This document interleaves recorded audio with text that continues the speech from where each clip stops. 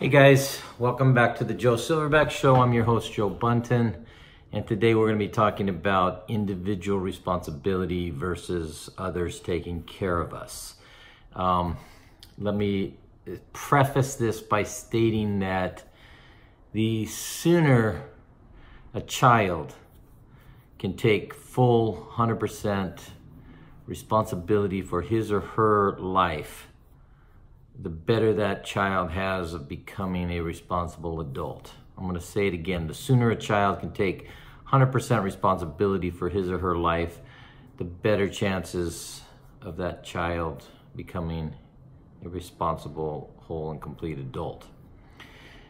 So, notwithstanding child labor laws and notwithstanding all kinds of um, psychobabble and mamsy-pamsy baby stuff, uh, the pendulum has swung so far in the direction of parents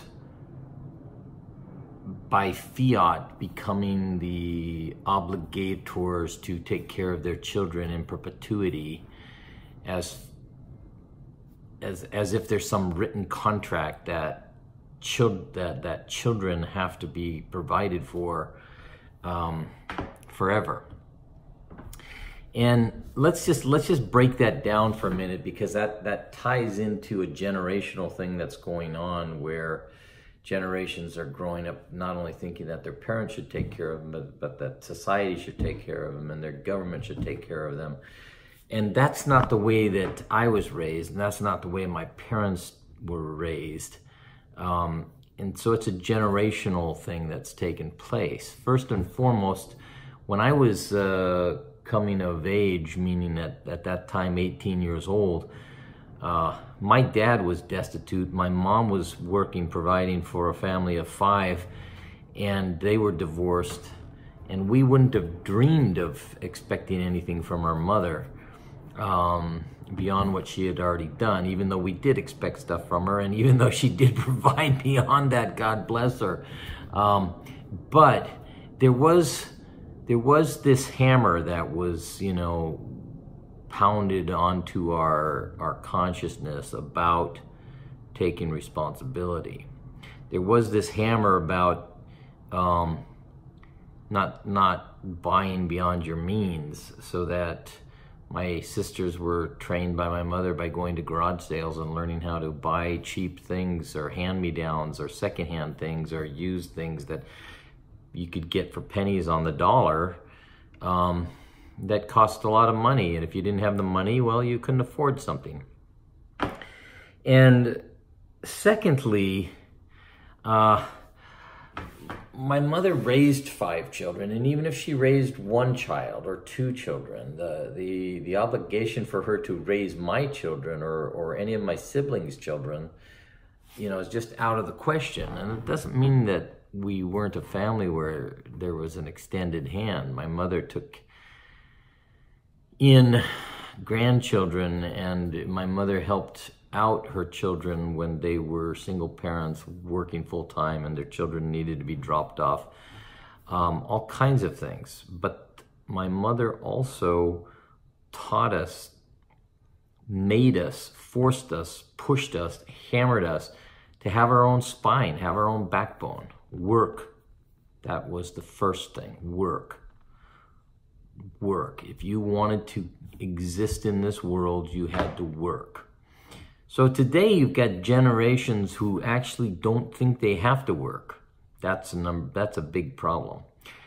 Two, you have generations who think if your parents can afford it, well, why shouldn't they continue to take care of you and provide things for you? Provide things like a car and an insurance. And, oh, if you damage the car, well, then they'll give you another one. Oh, you know, if you, you know, flaked off at your job and, and, and you need to come back home, well, sure, come on back home. Well, at what point, you know, does that end? And in today's uh, you know, generational um, problems with wanting to be taken care of, it just doesn't ever end. Similarly, we've got this conflict going on in this in this culture where the, the, the, the, John Kennedy asked not what your country can do for you, but what you can do for your country has been turned upside down on its head. So we now have any group who's disgruntled, any group who's disgruntled, anybody who wants to make a claim against the government for doing anything wrong automatically expects that the government should just bend over and let them stand and walk all over their backs and feed them and hand it over to them. Well, I didn't get anything from the government. My father didn't get anything from the government. My mother didn't get anything from the government. They were dirt, dirt poor. We were poor. And we had to work to provide food. We had to work to provide a domicile, shelter. And that's basic. But the opportunity to work, the opportunity to provide a domicile, the opportunity to provide food is there for anybody who wants to take it. And it's the only way that you can step outside of victimhood. Victimhood means I've had a, a rough go at life. I've had some bad breaks. Hand me something for free. Sorry, that doesn't make you feel better. It makes you actually feel worse. What makes you feel better is getting up off your sorry rear, getting up off your keister, and doing anything. And today with technology, you don't even have to get up off your keister.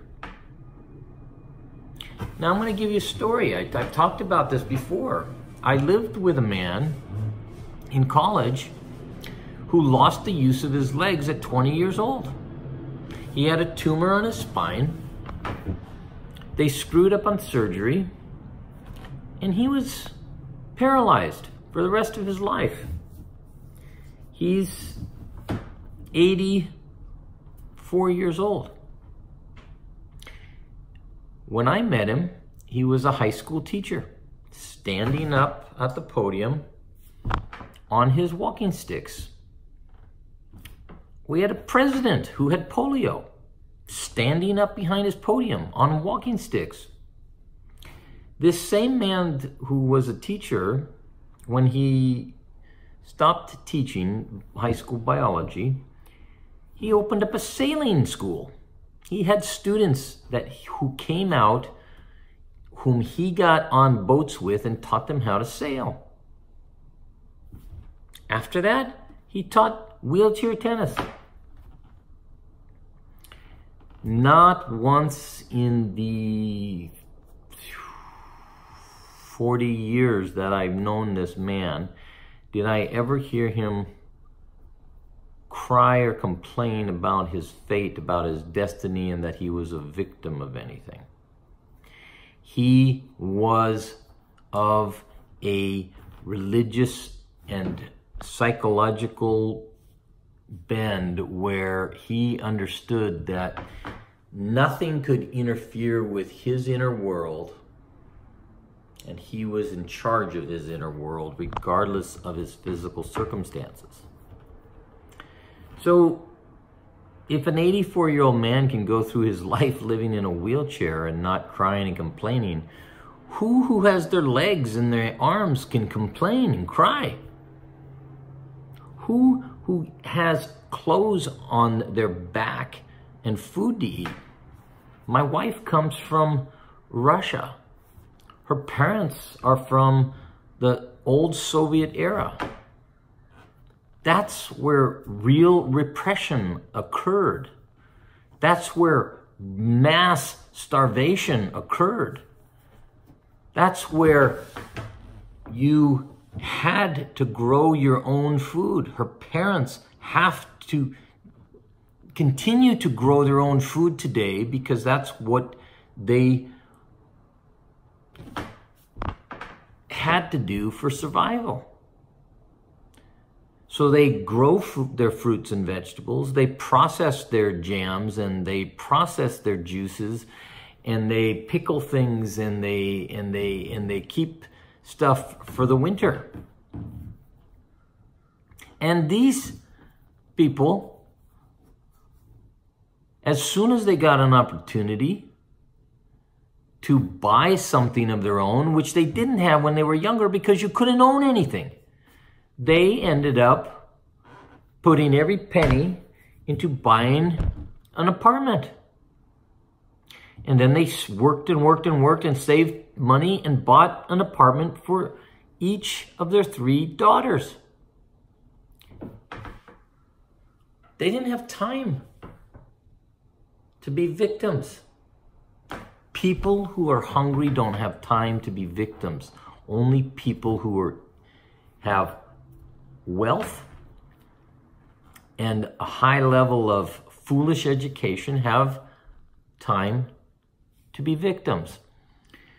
There's an interview, interview, uh, Jordan Peterson, Dave Rubin are being interviewed uh, by um, John Anderson of Australia. Um, I think he was part of the House of Representatives from 99 to 2005. Watch it on YouTube. It's one of the the best in-depth non-aggressive, non-violent, non-name calling discussions about how we can become responsible for ourselves and how we are government. And we it is up to us.